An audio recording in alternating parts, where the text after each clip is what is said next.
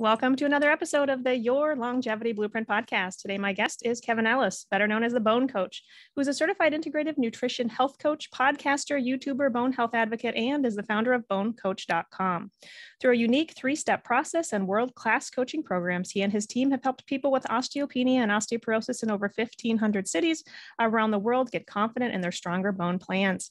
His mission is not just to help over 1 million people around the globe build stronger bones, it's also to help our children and grandchildren prevent osteoporosis and other diseases in the future so that they can lead long, active lives. Sounds like what we talked about on the show. So you're a great guest. Welcome to the show, Kevin. Stephanie, thanks so much for having me. It's a pleasure to be here. So tell me, how did you get started on this journey with helping women and men with osteopenia and osteoporosis?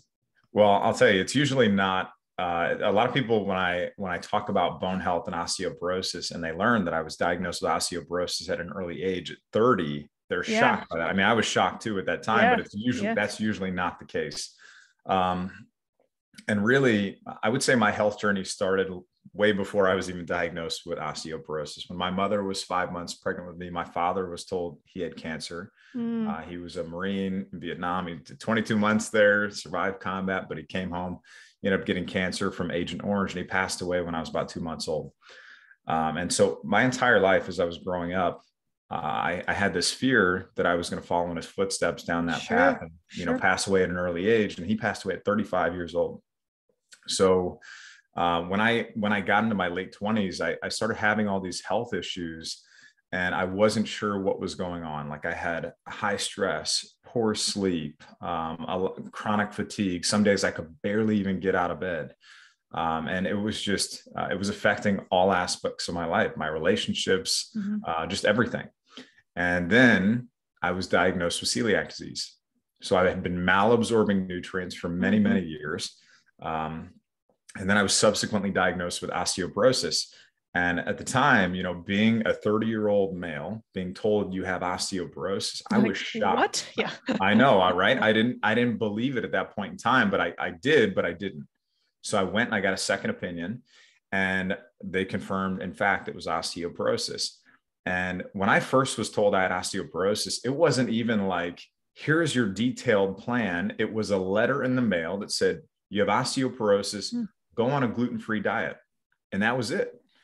And I realized along the way, you know, at that point in time when I was diagnosed, I had to kind of face my future and, and realize my father passed away at a really young age. I don't want to be in the same position where I leave my kids growing up without a father that was probably the biggest reason for me to to get a uh, plan in place and do the mm-hmm. research mm-hmm. and consult with all these people and finally start doing all the right things i needed to do to improve my health and my bones and i figured all that stuff out and i learned a lot along the way and i brought in some amazing people to help me with that um, and that is kind of how I, all this came to be bone coach and bonecoach.com and all that stuff is because I realize it's not the average 30 year old male that is told they have osteoporosis. It's right. the woman 40, 50, yep. 60 plus that gets this diagnosis. They get a DEXA scan as a check in the box. They find out they have it. And then they're presented with four options calcium, vitamin D, go for a walk, and take a bone drug. And I can tell you right mm-hmm. now, Usually it's just take a bone drug. Yeah. or it could be that. Yeah. I can tell you right now that's woefully inadequate. It's not enough. That's not the right plan. So that's that's why I'm so passionate about what we do now. I love your story. And you're right. I think the average, you know, I don't know what the average age of someone is who's diagnosed with osteopenia, but you're probably right. It's women in their mid 40s, 50s, whatnot.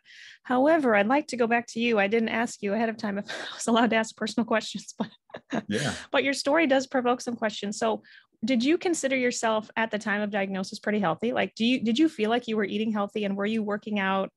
I mean, exercising regularly, like, or not? I'm just well, so, I'm just curious as to your lifestyle at the time, also. Yeah. So, so even even backing up, like when I was younger, uh, before because my father was a Marine, I wanted to be be a Marine also. So I worked out really intensely. I got a mm-hmm. great foundation of exercise and strength training and resistance training and I actually kind of wanted to be a bodybuilder at the same time too when I was a little younger.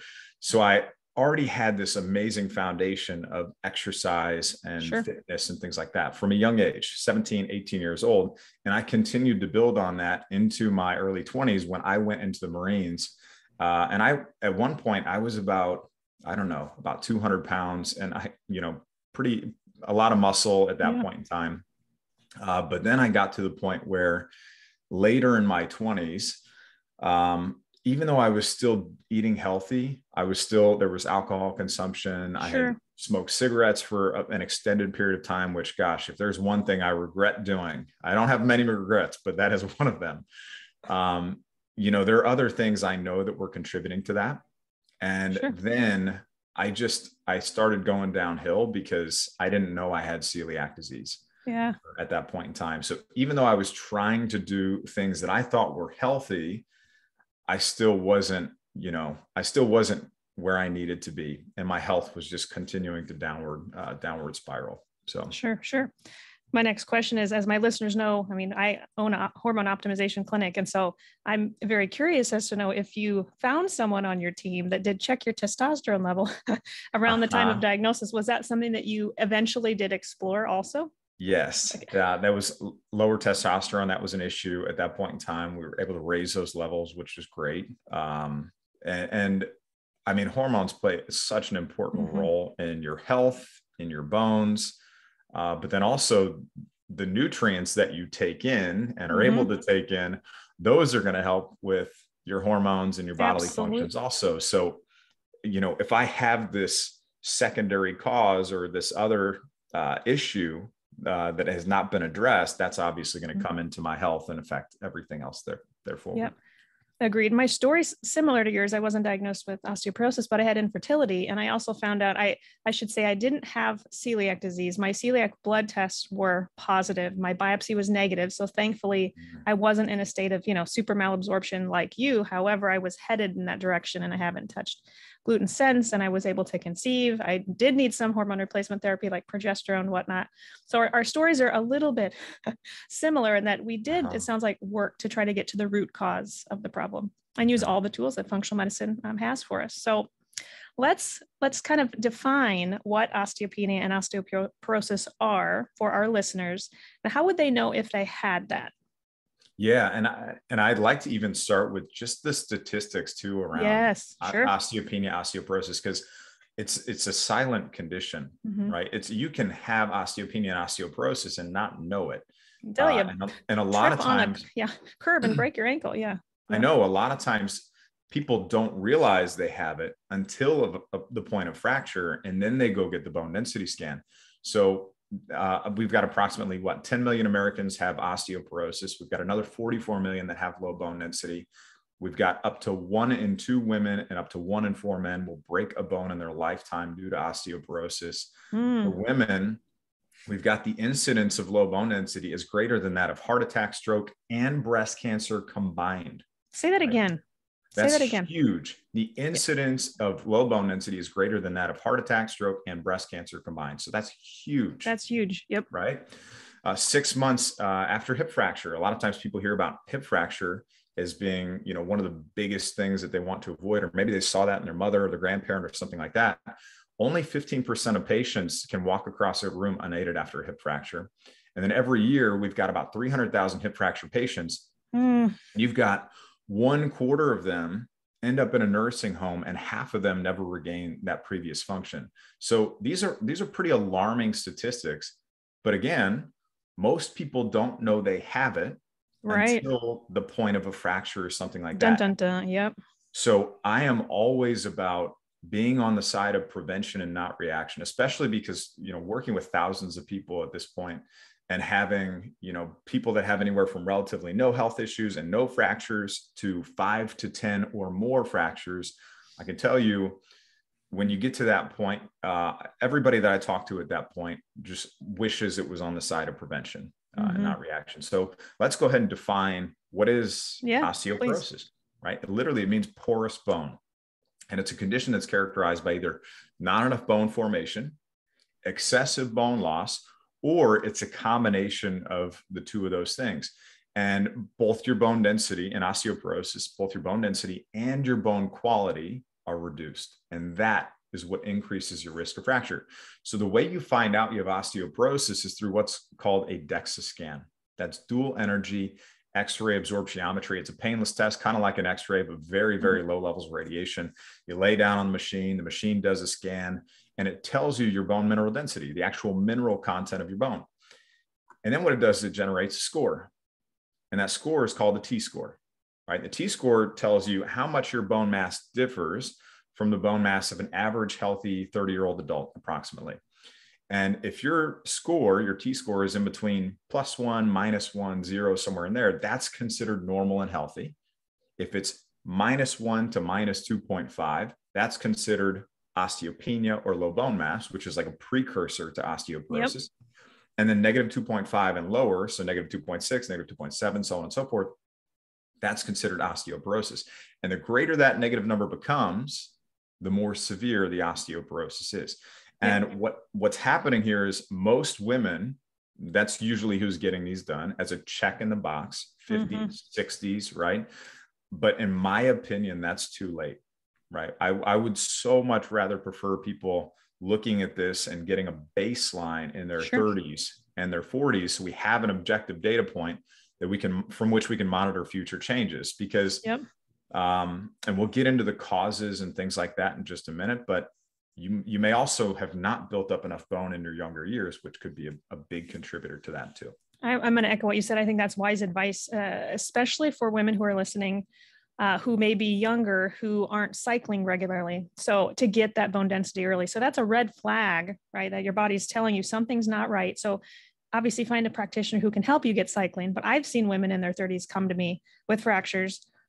None of their doctors seem to care that they hadn't cycled in years. And I, you know, and I'm saying this is not this is not normal right so yeah. and we've been able to help many of those patients but again if you're listening what kevin's saying is why not screen earlier right to figure out if you have this condition versus wait until you're 50 and you have lost a lot of bone and then I know the the the point behind this podcast is to be encouraging to help patients know that they can build the bone, but like you're saying, it's easier to build it earlier yeah. in life. So yes. Yeah. So absolutely. And and I would say too, you know, we we've seen people that are in their late 20s um, a lot of times the loss of hormones early on mm-hmm. or steroid use a lot of times that's what at least what i see a lot of steroid use will drive hormone levels down and then thus impact bone density negatively and, and let's even talk about the peak bone mass thing too because yeah, a lot of yeah. people especially younger people and if you've got kids right you got young kids that you're listening to this you've got young kids or you're listening you've got grandkids this is really really important to understand up to 90% of your bone mass is put on by the time you turn age 18. And the remaining 10% approximately is going to fill in by the time you turn 30. So by the time you turn 30, your bucket is about as full as it's going to be, right? So if when you were younger, you had poor diet nutrition, you led a sedentary lifestyle, you had an eating disorder, you mm-hmm. took certain medications, um, you know, you smoked or drank excessively. Hello, I fell into that category. Um, so there are a lot of things that can contribute to you not achieving peak bone mass uh, and starting with a full bucket. So if you've if you've got kids or you yourself are not at that point yet, um, make fill sure up the doing, bucket exactly. yeah, make sure you're doing the right things now. It's so critical, critical in those, especially you know 10 10 12 13 14 right in that age when people are really growing or growing their bones when kids are really growing their bones we want to make sure we do the right things for them yeah good points good points. Well let's move on to causes and you've alluded to some of those like malabsorption of nutrients we've talked about low hormones but tell us what major causes exist in your opinion. Yeah so there a lot of people don't know this there are multiple types of osteoporosis right? There's primary osteoporosis. That's typically related to a decrease in estrogen and other hormones, right? As in postmenopausal women, estrogen has a protective effect on bone, as do some of those other hormones. Mm-hmm. But as those levels decrease, as they do during menopause, that's going to cause an increase in the activity level of cells that break down bone. But then there's a whole nother cause of osteoporosis. That's called secondary osteoporosis. And that that's where bone loss occurs as the result of some you know behaviors conditions disorders sure. diseases and medications. And a lot of times if somebody is younger especially 20s 30s 40s 50s they have or had a secondary cause that needs to be addressed. Yep. But i also want to make a point that, that just because you're a postmenopausal woman we can't just chalk that i hear this all the time you know it's just hormones it's a natural part of aging um, no, there there can be an, another cause that has to be addressed. So we mm-hmm. can't just make an assumption. We have to make objective decisions. Super, super important. Awesome. So, how do you feel the standard treatment protocol for osteoporosis is working? Do you feel like that's enough? or let's well, maybe share what it is. We sure. talked a little bit about that too, but share what it is and why you feel a better approach exists.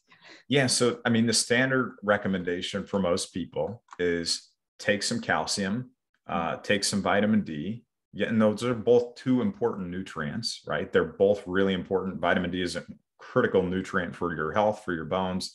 And I'll um, interject and say, and rarely is K2 recommended to take. I'll say, I mean, doctors are not even there yet. And we'll, oh, we can talk about, you, but yeah, yeah, but continue, continue. We can talk about that one in a minute because that's not even acknowledged no, in the conventional no. medical world. Um, no.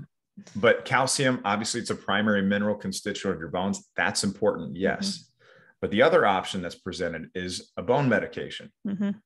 And this is not like these bone medications, they're not like taking an aspirin. They have a dramatic effect on bone physiology. So I'm, I'm just going to outline briefly the different types of these drugs, like yeah. the different categories of these drugs, and then what some of the generic, some of the names that people have probably heard of them, and then what what happens when you take these drugs, right? So uh, there are anti-resorptive drugs. That's one category. And these drugs are designed to slow down the activity level of cells that break down bone, right? They don't address the root cause, but their job is to affect the activity level of cells that break down bone. Uh, and that would be uh, two types of drugs bisphosphonates, mm-hmm. which include things like Fosamax, is probably the most, the one most people hear of. Sure. And then rank ligand inhibitors, which is called Prolia. Mm-hmm. Okay. Those are probably the two most common ones people will hear. And safety and efficacy of, of bisphosphonates specifically not really known beyond five years uh, and then also one of the really important things to understand about bisphosphonates is that as we're going about our daily lives and, and we're doing activities we're working out it's this is normal for every single person your bones are remodeling and it's a coupled process you have to have some bone breakdown sure and you have to have some bone formation that's what makes stronger healthier bones um, so when we're doing exercises and things like that, you're going to start to get these tiny little micro cracks and fractures and like tiny little micro cracks in your bones. And what happens is there's these cells in the bones that send out a signal and it says, hey, we need to come, you know, fix and repair this. So these bone breakdown cells called the osteoclasts come in and they scoop out those little micro cracks and then what happens is the bone building cells come right in behind and fill it in with stronger, healthier bone. Those are called osteoblasts. Yep. When you're taking these medications, though, sometimes that activity level of cells can be slowed down to too much to where you're not actually scooping out those tiny little micro cracks, right? And then you start to accumulate those over time. And that lead that can lead to you know bones that are that are not as strong as as you may think more brittle bones yeah than you started with yeah. Right so and that's one type of medication that's the antiresorptives. The other type of medication is an anabolic okay? And these are your your forteo your Evenity um, you know there are other medications that fall into that category. And the purpose of these medications is to build bone and build it faster. And yes it will increase your bone density and your bone quality. That's what these drugs are designed to do. But it's, uh, and a lot of times they're recommended if somebody is coming in and they've already got multiple fractures or poor quality bone, like I, I mentioned, you know, five, ten fractures or more, that's usually a situation where one of these drugs would be recommended. Um, and what happens though is you take these medications for a certain period of time, and then you have to follow them with another medication right? So you're it's not like you just take one yep. and you're done with it you have to follow it.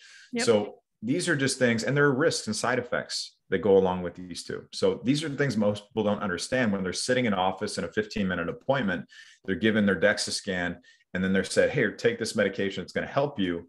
Whoa whoa whoa. Hold the phone. Let's pause right here and let's get a little bit more objective information to make an empowered decision moving forward. Yep. Agreed. Agreed agreed so, speaking of getting more information, let's go back to the association between gut health and bone health. Mm-hmm. So, talk about that a little bit. yeah, I mean, gut, gut health has a major connection to, to bone health. I mean, as as probably the the easiest thing to point out is we're not what we eat, we are what we absorb, right? So your sure. body and your bones can only become what you're able to break down, absorb, and assimilate back into your body. So um, I like to tell people to think of their body and their bones as being like plants. Um, and what most people do is they focus so much on the salads, the smoothies, the supplements that they fail to consider the soil.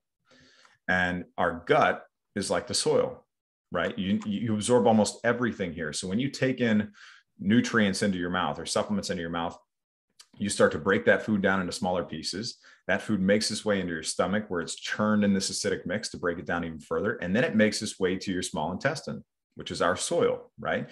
That's where nutrients are broken down to their smallest form to be absorbed by us, the plants. But in order to absorb anything, you have to have roots in your soil. And these roots are called villi and they're these mm. tiny little hair-like projections that are uh, you know responsible for absorbing nutrients from the food you eat.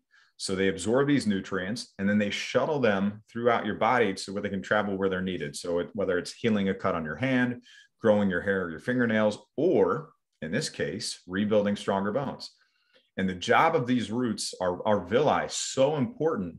The total surface area they use to absorb nutrients is the size of a football field isn't that Pretty amazing? Amazing. Yeah. Pretty amazing. Amazing. Yeah. But when you don't have good gut health and that's not optimal, you're not going to properly break down your food. And if you can't pro- properly break down your food, those nutrients aren't going to be available. Your, your villi aren't going to be able to absorb them, and your body and your bones are going to be starved of those nutrients. And that was happening to me. Literally. perfect I, example of that. I tell so with celiac disease, I mean, I'm you're probably listening, but if you're watching the video, I tell patients those little microvilli literally wear down to little stubs and they're just, uh-huh. they're not able to absorb the nutrients. And that's where Kevin was, which is why, you know, he could have been eating healthy, but if he wasn't absorbing the nutrients, then the nutrients weren't getting in, into the cells and helping to build the bones. So Absolutely. we do, and that's the purpose of really getting the scope for definitive diagnosis of celiac is to really see, okay, they biopsy the tissue to see, are those microvilli worn down? So mine weren't worn down yet. Kevin's were. yeah. The, the, the treatment of which, right, in our case is to help rebuild them was to get off the gluten, which was damaging those villi. But there are other foods that can also damage the microvilli. It's not just the gluten is the only inflammatory food. There are lots of inflammatory foods, um, which is really topic of chapter one of my book, Your Longevity Blueprint, where we test patients for food sensitivities. We run stool tests. We try to assess absorption Mm-hmm. And we can also test nutrients. I don't know if that's something you do as part of your protocol, but we can test yeah. to see nutrient status to see what supplements patients really do need to be taking. So I'm Absolutely. I'm glad you're talking about that association or connection between gut health and bone health. Absolutely. So do you feel like there's a perfect diet for osteoporosis? Oh, you know, people hate when I hate my response to this. Um, you know, there's no perfect diet for any single group of people, right? If we're talking to multiple mm-hmm. people at the same time, regardless of health condition, there's no perfect diet for every single person. That, that we're all biochemically and genetically unique individuals, right? Mm-hmm. We're going to respond to different foods and supplements and dietary approaches differently.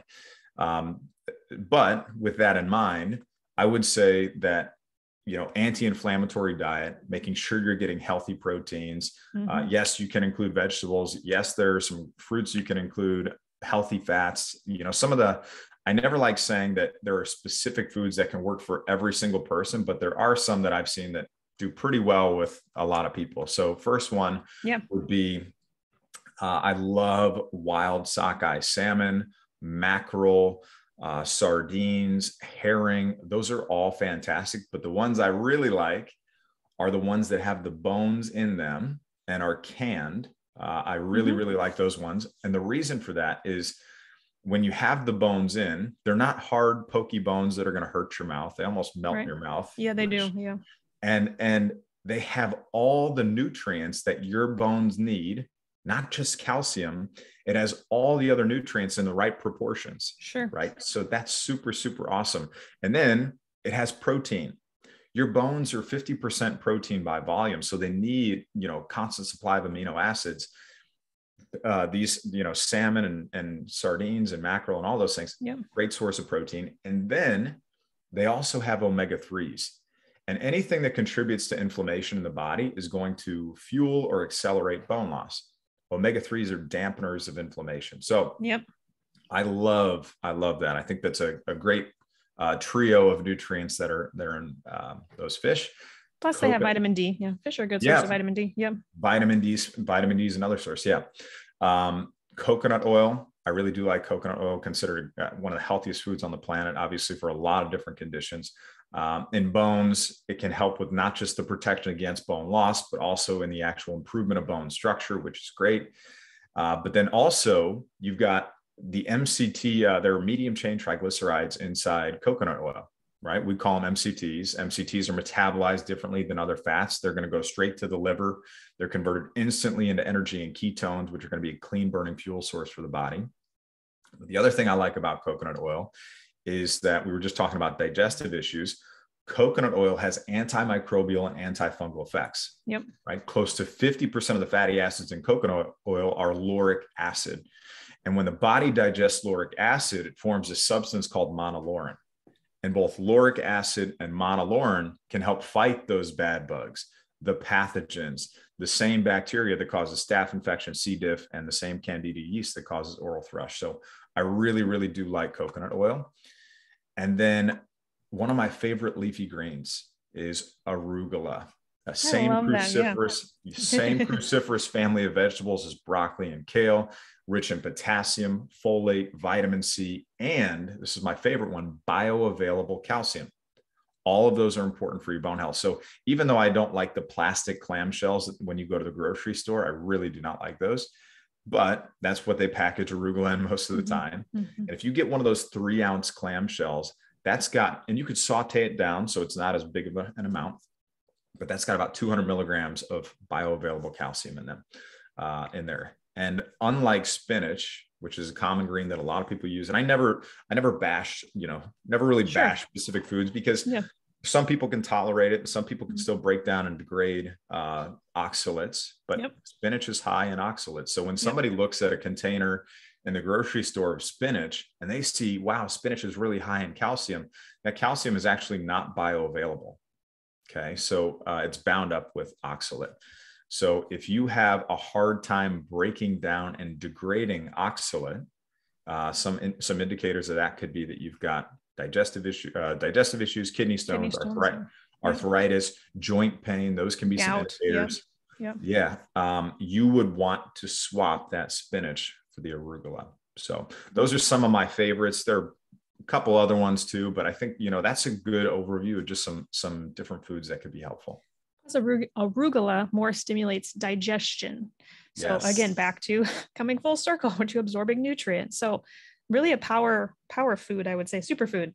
So just to summarize what you just said, essentially increase oily fish, coconut oil, and then maybe substitute have your leafy greens but maybe substitute arugula instead of the kale or the spinach all the time i'm good with rotating i think rotation is just wise for yeah yeah yeah and and for arugula too you had just touched on this for digestion arugula is one of the last bitter foods that we have in our modern American diets for the most part, like if you're incorporating it.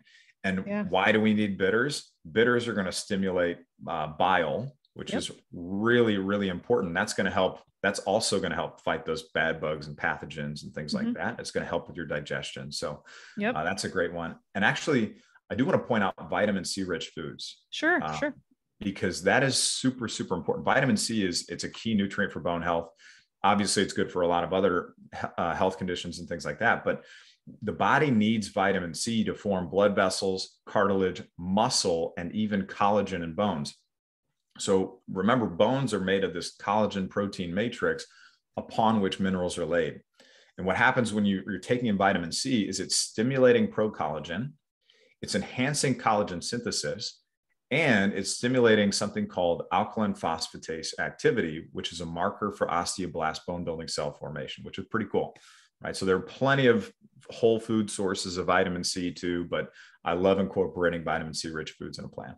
And they are readily available fresh this summer, this season. Yeah. Uh-huh. Although this episode won't launch till the fall, but yeah, listeners get the point. yeah. Yeah. Great advice. Let's circle back around to exercise. So you you even alluded to the fact that you had been really just kind of trained since a young age to incorporate exercise. You were um, even training maybe to be a bodybuilder. So what role does exercise play in bone health? And let's kind of bring this also back to the menopausal demographic here too, as far yeah. as what they can be doing to try to help with building. Absolutely. Absolutely. So exercise super important role in bone health you need two different types of stimuli for your bones you need muscle pulling on bone and you need impact and the most effective interventions are going to use one or both of those in combination and what happens is when you have muscle pulling on bone you have this mechanical signal that's sending a chemical signal that's telling those bones to become stronger so that's really important and then a lot of times i you know, when you're in the office and you get told you have osteopenia or osteoporosis, you're told, hey, go for a walk, right? Do some weight bearing exercise. I will tell you right now that walking is great to incorporate in your plan. It's great for your health, but that's not the only thing, right? That's not going to be enough. As long as you don't have an underlying condition or health, you know, thing contributing to bone loss still, it could help you maintain, but it will not be helping you build bone. So okay, what, so, what helps? What are the exercises that incorporate muscle pulling on bone then. yeah, for sure. Well, we have to do muscle uh, strength training, resistance training. Uh, you have to do those things. They have to be part of your plan. You can use heavy resistance bands. You can use dumbbells, barbells, things like that. Okay. Um, and then we want to focus on uh, major compound movements too. Uh, you know, there was a translate, translate. yeah. So, uh, Dr. Belinda Beck and her team have done some amazing work with this uh, in Australia. And they had something called the LIFTMOR trial where they did overhead presses, deadlifts, squats, chin ups with drop landings that were all safe and effective for the people they used in their studies that showed, you know, a positive impact on bone. And those okay. major movements, right, yeah, that I just okay. walked through, those are going to be really, really helpful for for bone. Uh, and now here's the here's the part that I don't want people just going and watching a video on YouTube on how to deadlift and then going to try to crank this out. Get somebody to evaluate your body mechanics. Make sure you know how to do these things properly before you go jump into them. Uh, but you need to work your way up to that five to 10 rep uh, intensity range because that's what's going to be most effective and most helpful. Uh, so if you're just starting out, you don't want to get really intense and be in that rep range uh, until you've got your form down. And the last thing I want to note about um, exercise and bone health is that it's not like going to the gym one or two times or two weeks is going to have this dramatic impact on your bone health. It's not like, oh, the harder I push right now, or you know, the more impact I give this, the better it's going to be. I can tell you that's not the case. Bone remodeling is a slow process. Mm-hmm. There's a reason bone density scans are only done every one, one and a half, two years. Got to play the long game here, people. Yeah. You got to play the long game. You do not play the short game because playing the short game leads to injury. Uh, so play the long game, be consistent, be, be easy on yourself too, right? Don't be too hard on yourself on this journey. Um, and I do want to point out one other thing about exercise is that there are also exercises that are non weight bearing. Okay. So weight bearing exercise is where the body is, you know, your body, your muscles, your bones are upright. They're working against gravity and it's placing this good kind of stress on your bones. Then there's non weight bearing exercise. This would be your cycling or your paddling and canoeing, your swimming, swimming. your water therapy, that kind of stuff. Uh, and those are not putting the stress that's needed on your bones. Now, I'm not saying if you really enjoy those things, do them. Like if it if going for a ride on your bike reduces your stress and makes you happy, same thing do with it, swimming. Yeah, you, yeah. you love hanging out with your family in the pool, and like that's a memory that you have. Fantastic, do it, but don't count that as your only exercise. You have to have a resistance in there too. Yep, good advice. Great advice. All right, so is fracture guaranteed just because someone has a low bone density? Like, does um, everyone who have low bone density end up getting a fracture? You know, million dollar question. yeah, because uh, this is this is what uh, when you go get that bone density scan that we talked about at the beginning, right? It's going to give you one piece of information, which is your bone density, the actual mineral content of your bone. What it doesn't tell you is, in most situations, is the other part of that picture. There's something called bone quality. So bone density is the mineral content of your bone. Bone quality is how that bone is organized the structural integrity, the microarchitecture of that bone, both of those things combine to create bone strength. So a lot of times people only have part of the picture. Uh, so bone quality is a really important part of that picture. It's also the reason why there are times when I've seen people that would technically be osteopenia by their T score, but maybe they've fractured multiple times. right? They're in the negative ones, but maybe they've fractured multiple times. That's an indicator of really poor bone quality. Sure. But then I've seen people that have a bone density score of negative threes that have never fractured before, mm-hmm. right? And that's another bone quality is playing a role there. So it's not it's not guaranteed that just because you have low bone density, you're going to have a fracture. But what I always encourage people to do is, again, be on the side of prevention, not reaction. If you've realized you have low bone density, don't wait. You don't want to wait to have more bone loss because it's it is a lot easier to slow and stop and prevent more bone loss than it is to build bone once you lose it. Both are possible. You can build bone strength at any age.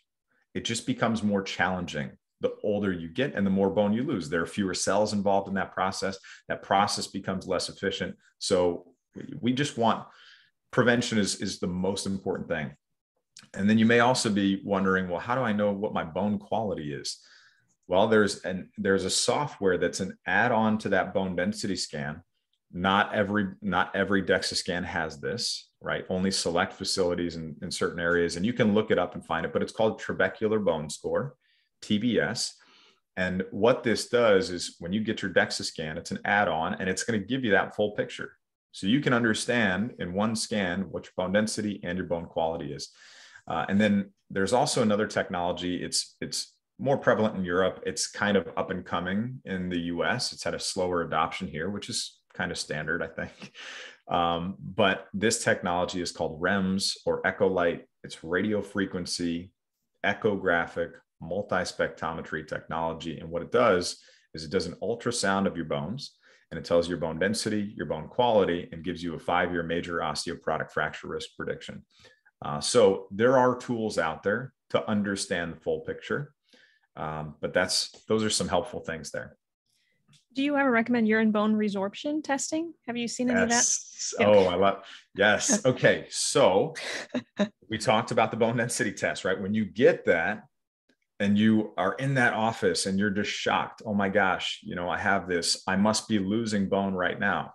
That's an assumption, right? One single bone density scan cannot tell you if you're still actively losing bone that's where these markers come into play. They're called bone turnover markers. Yep. And they can tell you the activity level of cells that are breaking down and building up your bones.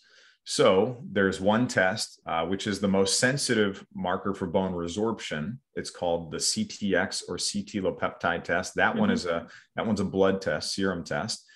Uh, but then there's also an NTX, uh, which is an N-telo peptide. And there's a, a, blood test and a urine test. If you're going to do the urine test, I would do the second catch of the day for that, second urine of the day.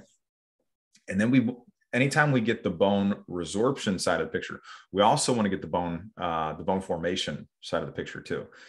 And the other, the markers for bone formation are P1NP, that's procollagen type 1 N-terminal propeptide. That is the most sensitive marker for bone formation. But there are also some other markers. There's osteocalcin that you can look mm-hmm. at.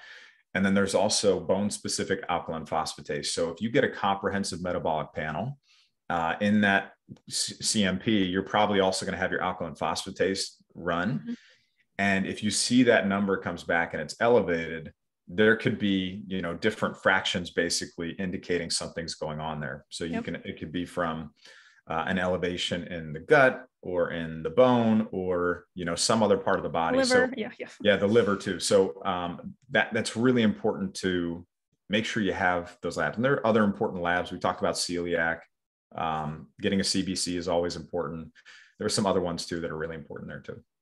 I used to use the uh, urine. I guess they are I, I think it was called the NTX, what you mentioned. I haven't run it in a while, so I couldn't remember what it was called. But yeah, for many patients, because they had to wait, right, one, two, however many years for insurance to cover the bone density repeat, we could at least use this urinary test to track progress. And they would be so encouraged that, okay, you know, this is my markers are improving. I'm on the right track. I'm going to continue to do, you know, X, Y, and Z. So I think there's good utilization of those sort of tests in the interim, waiting for the repeat.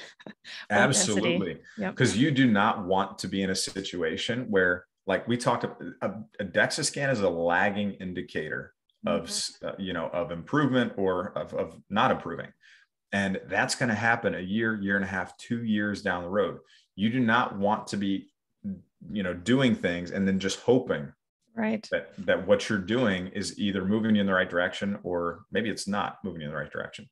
So that's where these bone turnover markers can come in where you can look at them again especially if you get a baseline and you recognize that something is off there yeah. and three to six months later you run those again. Okay wow i saw that my bone my bone resorption has come down significantly. That's fantastic.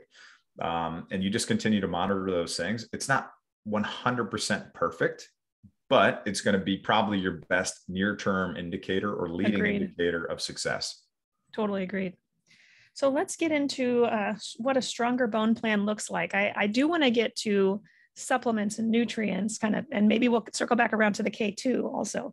Yeah Excuse sure. me but kind of tell me in your opinion what does a stronger bone plan look like? And maybe that's what you formulate with your your clients in your stronger bone masterclass but. Yeah yeah. So i mean high level uh, i would say that the anytime you're you're putting together a plan for stronger bones number one you have to start with identifying and addressing the root cause issues of bone loss. Start with the root cause don't make assumptions make objective decisions right? That has to be the starting point. That that comes with understanding what tests to order um, how to ask for those tests and make sure you get them a lot of times people go to their doctors and you know we're trying to do the, the right things for ourselves. We go on google dr google right? And you pull up all these tests and you come in and sometimes your doctor is going to you know turn those down or they're not going to run those and that makes it really challenging. And you got to find someone who will you have to find losing my voice here today. you have to find proactive members of your team who will work with you, who will listen to you. A lot of conventional docs don't even have contracts with functional medicine labs, like the lab, for instance, we used to do the the NTX, the urine NTX marker we were talking about. You have to find someone, unfortunately, seek them out, seek out anti-aging, regenerative medicine, you know, functional medicine providers who do have contracts with these labs, who can run the tests that you need. Don't go home left discouraged. And just uh, this is a journey. You gotta find the right members of your team to help you. A hundred percent, hundred percent agree with that. Yeah, and like so, you got to understand.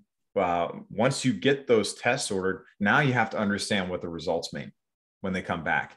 And mm-hmm. a lot of times when results come back, they're within a normal range. Normal is is extremely wide, right? And let's just use vitamin D for example, mm-hmm. right? The range, if you're in the US, the range for vitamin D of normal is 30 to 100 ngml. If you're at 30, that's not going to be like you need to be higher than that. If yeah. you're at 100, you need to you need to be coming down from that. If you're over 100, that can contribute to bone loss also. Um, so, and that's just one example of one lab mm-hmm. result.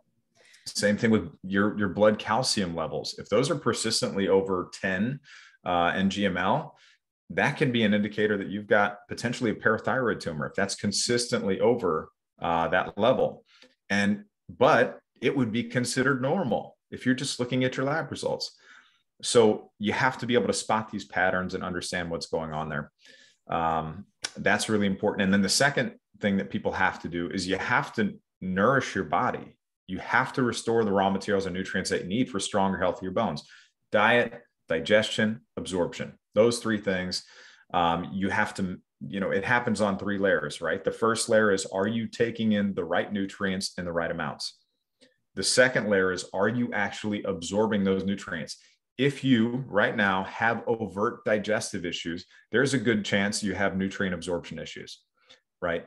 even if you don't, celiac, even if you don't have overt digestive issues, you still yeah there still can, can be absorption, issues. Yeah, yeah. Seriously, like with with yep. celiac. I didn't I didn't have the digestive symptoms. I had more the infertility. I had tachycardia and uh-huh. palpitations, right?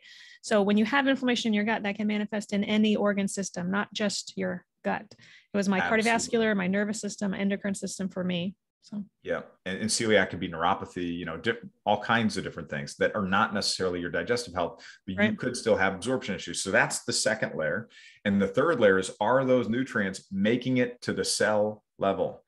And a lot of times, even if somebody's eating healthy, I'm eating paleo, I'm eating spinach and chicken at every meal.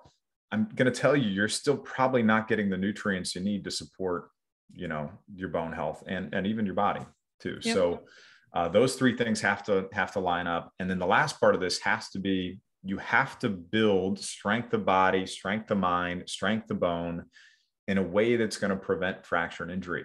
So you need to reduce your stress.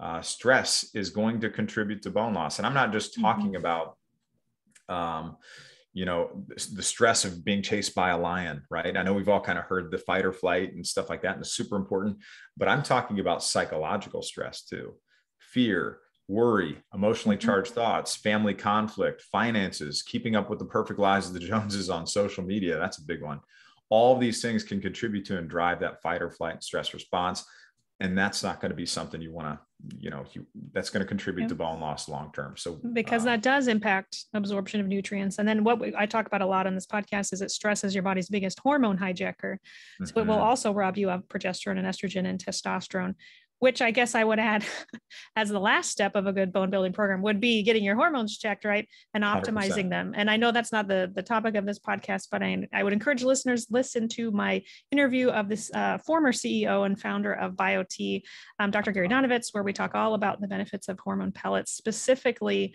I know estrogen is important and progesterone is also very important. They're all important, but testosterone I have seen build bone significantly in my patients. And I, I, think when I started offering testosterone pellets is when I stopped doing that urine bone resorption test because I just saw improvement quickly. I just, and I was like, okay, I guess I don't need to do this test as often on those patients. Yeah. I, I, through, I've been in practice, I don't know, 12 years now, and I, I had never seen anything build bone density as quickly as testosterone pellets. I would see women who were osteoporosis. It, it took years, right? But then eventually moved to osteopenia and then to normal bone density. And I'm sure you see this also with your clients, but it is so exciting when they get their bone density and they bring it back to you and they say, Oh my gosh, you know, my doctor told me there's nothing I can do. I never, you know, I never thought I would budge you know, these, these statistics, these percentages and look at the improvement. It's, it just ah you know brings tears to my eyes. It's it's amazing. So i would say all of what you've mentioned and the optimizing hormones are i would think very good pieces of a bone building plan.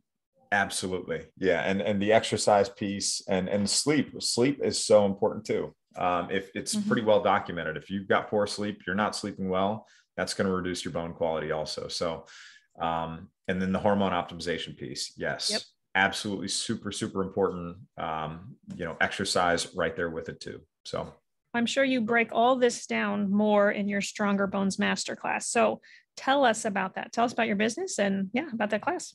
Yeah so i mean bone coach is uh, you can always find me over at bonecoach.com but our business bone coach really focuses on walking people step by step through a stronger bones plan and and we have programs you know three months six month programs and some other programs that basically take people through this entire process that i yeah. just walked through in great in great personalize detail. it sure sure in great detail we add you know different support from different team members and things like that as you go through but people leave those programs and they're confident in their plan or, or they come back to us a year year and a half two years later we've got plenty of people that have improved their bone density and their bone strength uh, but you're not waking up every day after your diagnosis wondering or worrying right how you're going to improve your health or your bones.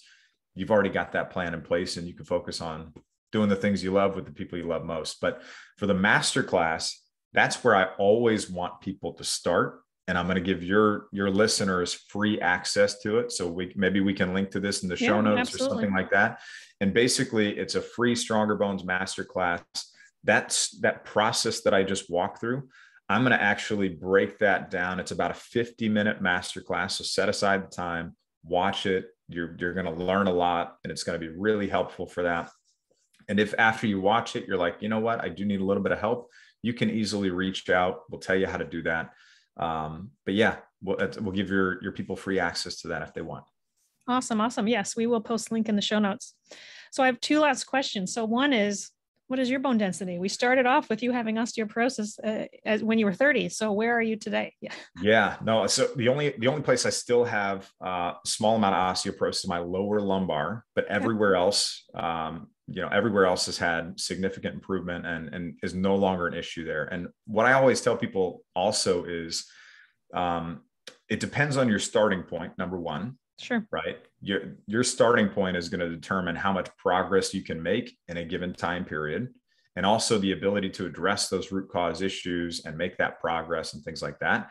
And my bones are different than your bones, right? And your bones are different than Susie's bones. So even though it's great to have like for us, we have plenty of examples of people that improve their bone density and their bone strength, but their bones are different than your bones. So we need to focus on your root causes uh, and make sure we're addressing the things specifically for you and your body. So that's probably the most important point I would make on that one. Excellent advice. All right.